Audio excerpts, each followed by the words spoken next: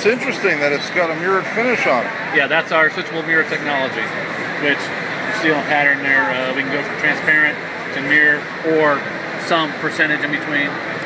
So, can you do this over an entire window, or